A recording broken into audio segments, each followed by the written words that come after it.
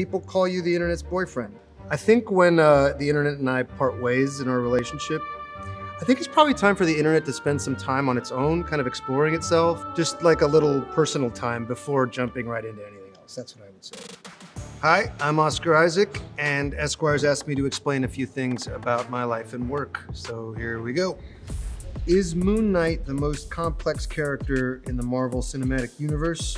Possibly. I mean, possibly. I don't want to say he's the most complex, but uh, he's definitely the most troubled, I'd say. He's got a lot going on.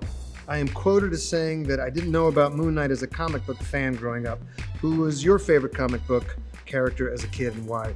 It's a toss up between Wolverine and Archangel, but I, I, have to go with Wolverine as a smaller guy. You know, Wolverine's a little guy, in the comics at least he was, you know, furry and angry, and I could relate to that. And best memory of working with Carrie Fisher. Right, because she did slap me 27 times in one take, that's true. Not my favorite memory. My favorite memory was probably there was this music playing. It was like we just started kind of spontaneously dancing as she kind of hummed and sang, you know, and there'd be like robots and aliens and spacecraft everywhere. And it was just a very surreal, beautiful moment that I got to experience with the incredible, legendary Carrie Fisher. Explain the bromance with Pedro Pascal. He's obsessed with me. And uh, I try to get away from him and he finds me. He finds even when I change my number, he I can't I can't get rid of him. So it's like a it's like a disease. On Inside Llewyn Davis, who was easiest on set, the cat or Adam Driver? Definitely not the cats. The cats were were awful and scratched me, and um, there was lots of them. Definitely the cats were a lot harder than Adam Driver was. Okay, the two most searched questions on scenes from marriage. One, where can I get those glasses? And two, is this real? Where you can get those glasses, I don't know. Um, there were quite a few to choose from, and it felt like those were the right ones. And is this real? It wasn't real, uh, thankfully. It was, it was acting. It was based on an Ingmar Bergman series. It was probably as traumatic to do as it was to watch for everyone. So I'm glad that people thought that it was that convincing. What song guarantees that I'll jump up no matter what and tear up the dance floor? My youngest son has really gotten into drums. He really loves playing Hip Hop Hooray by, by nature. So every time he starts playing that, Dad's gonna jump up and give him so, some haze and hose. As both an actor and producer on Moon Knight, what were the biggest challenges? Well, I guess I'd say the challenges were incredibly enjoyable and super creative because it's about um, quite a few different personalities that, this, that live inside this one body.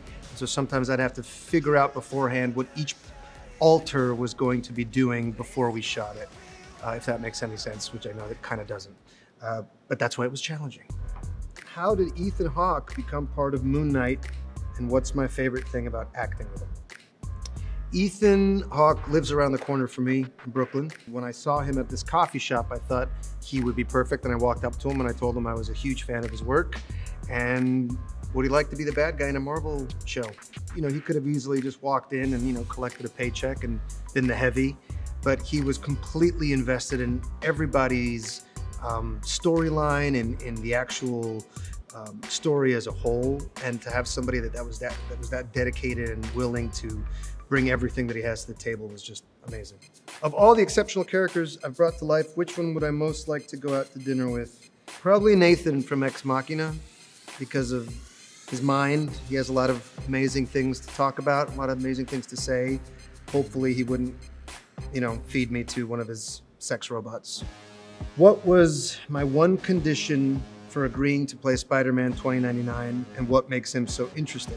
Uh, I didn't really have one condition. I mean, I just said that I really wanted to make him an interesting character and not just kind of this one, basically like the Batman version of Spider-Man, just like a dark, you know, monosyllabic kind of guy. I think what makes him most interesting is that he is the least funny of all the Spider-Men, and that in itself is really funny. Now, I moved to New York to go to Juilliard. My favorite thing about the city being a New Yorker.